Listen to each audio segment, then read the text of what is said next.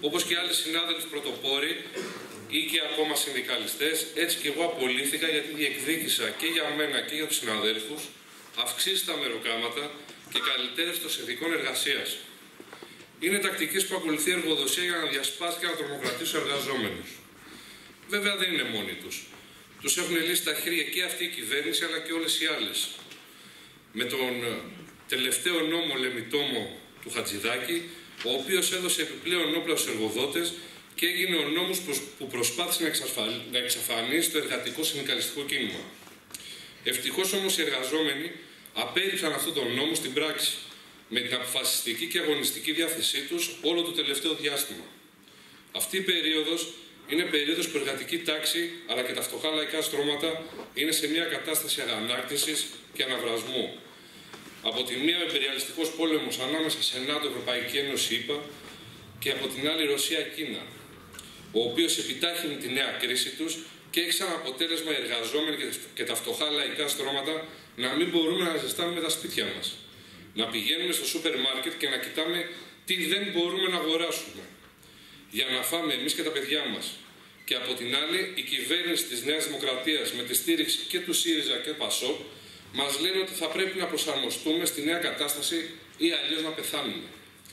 Επιπλέον, μέχρι το τέλος του χρόνου, η κυβέρνηση μαζί με τις πλάτες του νομοθετικού προστασίου που έχουν ψηφίσει και αυτοί αλλά και οι προηγούμενες κυβερνήσεις, ετοιμάζουν 50.000 πληστηριασμούς που στην πλειοψηφία αφορά λαϊκές κατοικίες και τα χρέη στις περισσότερες περιπτώσεις είναι αστεία ποσά. Όταν παράλληλα μεγαλοξενοδόχοι, βιομήχανοι, εφοπλιστές δεν πληρώνουν χρέη και έχουν και θελοντική φορολογία. Την κρίση τους το 2010, τα τρία μνημόνια, την ανάπτυξή τους, το τέλος του μνημονίου, την υγειονομική κρίση και την πανδημία την πληρώσαμε εμείς με τις θυσίες μας, αλλά και το αίμα μας. Και από την άλλη τραπεζίτες και τα κοράκια τους μπουκώθηκαν με ζεστό χρήμα.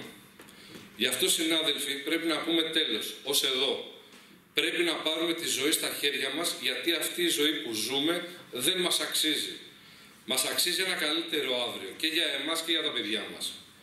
Η απεργία σε 9 Νοέμβρη με τις μεγάλες απεργιακές συγκεντρώσεις σε όλη τη χώρα ήταν μια πρώτη απάντηση στην πολιτική που μας τσακίζει τη ζωή. Έτσι λοιπόν θα πρέπει να είναι και συνέχεια.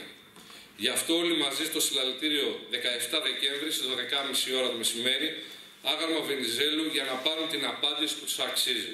Γιατί χωρίς εμάς γρανάζει δεν γυρνά. Μπορούμε και χωρίς αφεντικά.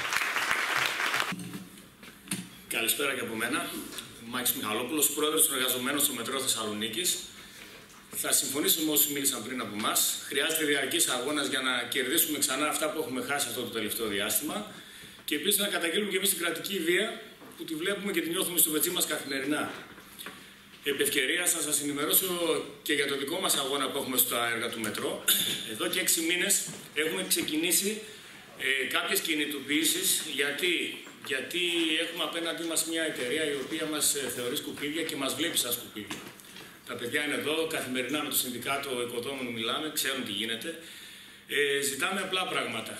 Ζητάμε αξιοπρεπείς συνθήκες εργασίας, μέτρα ασφαλείας. Το τελευταίο διάστημα, επειδή η δουλειά σε εισαγωγικά τελειώνει, θέλουμε να την τελειώσουμε, αλλά δεν τελειώνει, ε, υπάρχει μία βία ενάντια στους εργαζόμενους να τελειώσουμε με κάθε κόστος. Ε, μπορείτε να υπάρχουν τα παιδιά εδώ πέρα, να σας πούμε για τις καλοσχές που υπάρχουν, για τα μηδενικά μέτρα ασφαλείας κάτω στις γαλαρίες, γαλαρίες χωρίς φώτα, εργοτάξια γεμάτα νερά με καλώδια κάτω. Ε, έχουμε χτυπήσει το καμπανάκι στην εταιρεία πάρα πολλές φορές. Βρίσκουμε ένα τείχο, δεν, μας, δεν τους ενδιαφέρει νομίζω. Αριθμοί είμαστε για αυτούς, όπως και εγώ έχω χάσει το μάτι μου και δεν τους ενδιαφέρει. Είμαι 10 χρόνια, είμαι 7 χρόνια συγγνώμη σε ε, δικαστικό αγώνα και έχω ένα χρόνο ακόμα μπροστά μου να δούμε τι θα γίνει. Ε, ζητάμε επίσης αυξήσεις στους μισθούς μας. Εδώ, από το 16 που ξαναξεκίνησε σε εισαγωγικά το έργο, δεχτήκαμε μια, μια μείωση 40% όλοι οι εργαζόμενοι με την υπόσχεση ότι εντάξει, παιδιά, δουλέψτε, βάλτε πλάτη και εμείς είμαστε εδώ. Ε, βάλαμε πλάτη μέχρι παραπάνω από ό,τι έπρεπε να βάλουμε. Εμείς δεν είδαμε κανένα αποτέλεσμα από αυτούς, δεν είδαμε να βάζουν το χέρι στην τσέπη. Η εταιρεία καθημερινά παίρνει εκατομμύρια. Εχθέ υπογράφηκε μια διαιτησία 45 εκατομμύρια 200.000 ευρώ για διαιτησίες από το, από το 17 μέχρι το 19. Σκεφτείτε τι έχει να πάρει από το 20 μέχρι το 19 μέχρι το 22 που υποτίθεται δουλεύουν, γιατί τότε δεν δουλεύαμε. Ε, έχουμε και άλλα θέματα. Έχουμε το εργασιακό, τον εργασιακό εκφοβισμό στα έργα του μετρό. Έχουμε την απόλυση του ταμείου του συνδικάτου. Γιατί, γιατί ζήτησε τα αυτονόητα. Ζήτησε το, μαζί με άλλους 5-6 συναδέλφους αυξήσεις τους μισθούς τους. Πριν τέσσερις μήνες είχαμε άλλες δύο πωλήσει από το Συνδικάτο Οικοδόμων.